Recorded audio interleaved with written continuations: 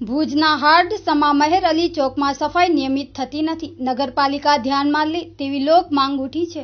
ભુજ શહેરના મહેર અલી ચોકમાં ગંદકીનું સામ્રાજ્ય જોવા મળે છે. જ્યાં જુઓ ત્યાં ગંદકીના ઢગ ખડકાયેલા છે.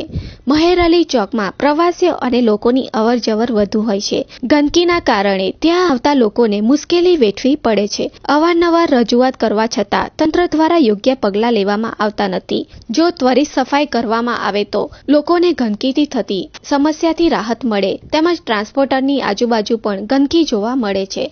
સમસ્યાનો ત્વરિત નિકાલ કરવામાં કરવામાં આવે તેવી લોક માંગ ઉઠી છે.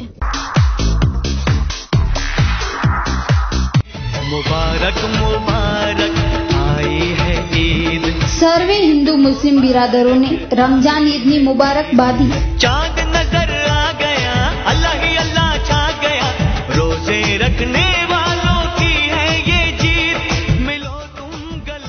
જુનેજા બાવા ઇબ્રાહીમ, પ્રમુખ શ્રી અખિલ કચ્છ જુનેજા સમાજ, પ્રમુખ શ્રી માંડવી શહેર મુસ્લિમ હિત રક્ષક સમિતિ, નુરાની રેસ્ટોરન્ટ, માંડવી કચ્છ.